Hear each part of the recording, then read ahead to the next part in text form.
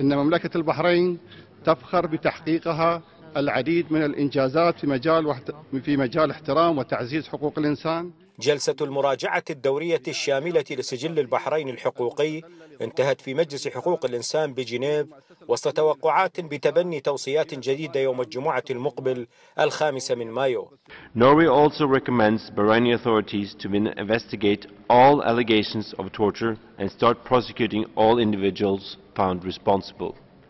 النظام الحاكم في البحرين فشل في تسويق أكاذيبه على صعيد تنفيذ توصيات المراجعة السابقة التي صدرت قبل أكثر من أربع سنوات.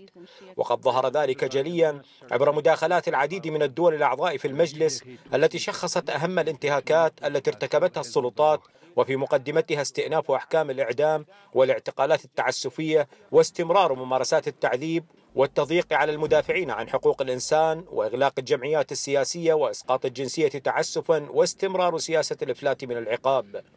إن بعض هذه المنظمات التي قدمت بعض التقارير إلى لجنتكم الموقرة تفتقد المصداقية كما أنها ليس لها وجود على الساحة البحرينية وليس لها أي قبول هذه المراجعة الدورية شكلت بحسب حقوقيين بحرانيين فضيحة للنظام الذي فشل في خداع المجتمع الدولي بالرغم من الدعم الذي يحظى به من قبل بعض الدول الكبرى.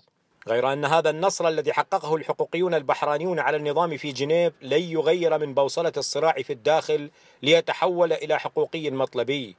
والحقوقيون كذلك يؤكدون من جانبهم على أن العمل الحقوقي وبرغم نجاحه ليس بديلا عن النضال الميداني في الداخل بل هو مكمل له.